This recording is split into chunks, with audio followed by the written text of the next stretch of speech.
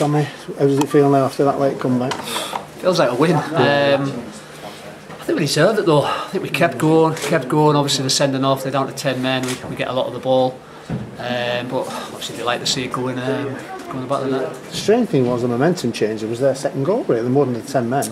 Yeah, it, it was. Yeah, I mean, they, they get the second goal, and obviously, a few heads probably dropped. Then we picked it up a little bit and started getting crosses in and getting a few little half chances. And like I say, we kept going. It was credit to the lads.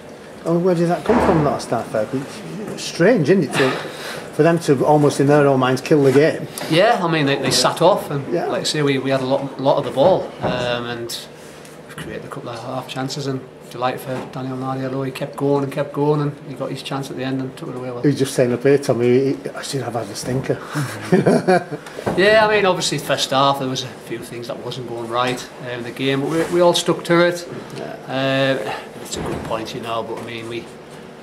I've said it all season. We played against teams who are very, very average. Like hard work, they work hard. We've played teams at the top, and I don't think there's much in it, but the table doesn't lie, and we're down there for a reason. So I mean, I'm sure the new manager will put things right. I mean, it's funny, I don't know you can think this way in the picture. There was a, there was a point in the second half, I think it might have been one, I think one up at the time, and the right back, whoever it was, taking it out of the field, just bringing it forward. He just slices it into the back of the stand. I think, Christ, we're losing to these.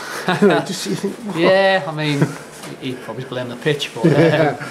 no, No, it's like I say, we've we've played nearly everyone this season, and I don't think there's much in even the teams at the top, but we are where we are, and. Yeah. I'm sure, like I said, the manager's got his own ideas of how he wants to play football, and he wants to play football, which is Yeah. is perfect for myself because Yeah. that's what I want to do. I want the ball on the floor. It's not good in the air. It's a lot of games this season have just it's been like rugby, and to be fair, I've hated them.